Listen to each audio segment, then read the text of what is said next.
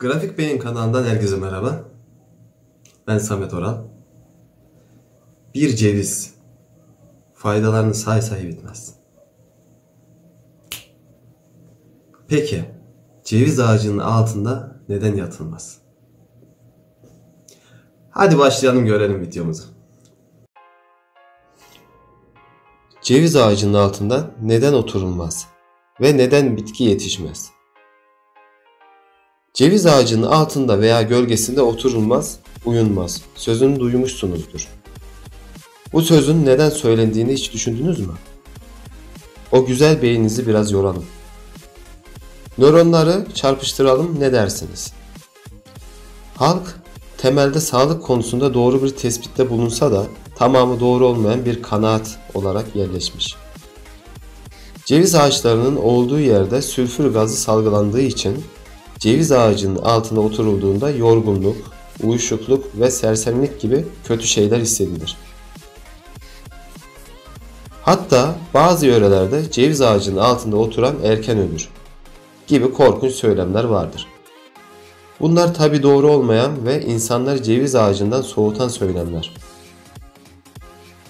Sülfür gazı havada bulunan diğer gazlardan daha ağır olduğu için aşağı doğru çöker ve cevizin altında oturanı sersemletir ve garip hallere sokar. İşte halk arasındaki ceviz ağacının altında oturan erken ölür tespiti buradan gelir. Juklon olarak isimlendirilen kimyasal bir madde üreten ceviz ağacı bitkiler için zehirlilik etkisi yaratıyor.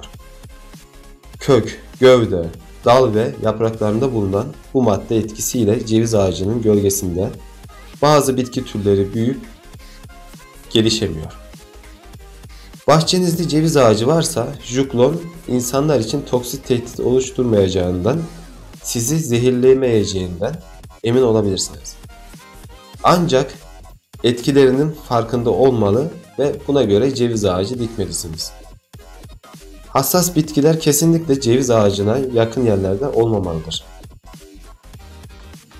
Küçüklüğümde çok iyi hatırlıyorum.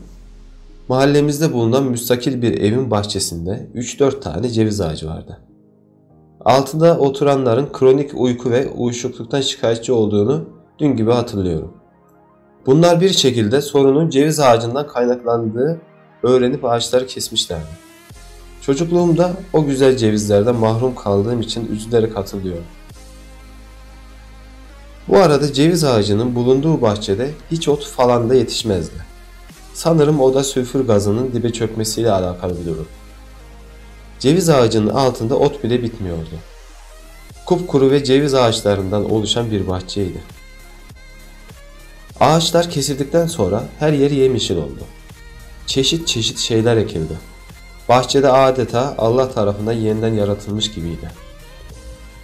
Kötü deneyimim ve bu bilimsel gerçek ceviz ağaçlarının tamamen zararlı olduğunu da düşündürmesin. Sülfür gazı ozon tabakasını tamir etme özelliğine sahip. Ayrıca cevizin insan sağlığına faydaları saymakla bitmeyecek kadar çok. Dünyadaki ceviz ağacı sayısı arttırılmalıdır. Ceviz ağaçları uzak bahçelerde ve canlıların daha az bulunduğu bölgelerde dikilmelidir. Ceviz ağacı resmen ozon tabakasını tamir eder. Onun için ceviz ağaçlarının çoğalması bizim için her zaman daha iyidir.